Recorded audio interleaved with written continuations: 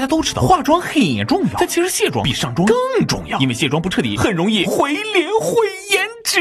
相关调查数据显示，女性一生花在化妆上的时间平均为三年，而化妆品停留在脸上的时间是十年。所以卸妆彻底与否至关重要。如果采用水性卸妆产品搭配化妆棉，擦拭的动作很容易伤害皮肤，即便你卸干净了，也不过是伤敌一千，自损八百。而油性卸妆产品则是秉持以油溶油的原则，原汤化原食，相对而言更温和，因此长期使用卸妆油的人皮肤状态相对更好。所以。